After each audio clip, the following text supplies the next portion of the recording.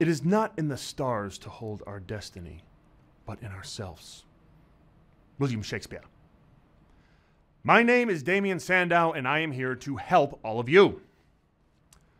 This tome contains the collected works of Samuel Beckett. Now, a troglodyte may not recognize this nom de plume, but he was one of the greatest playwrights the world has ever seen.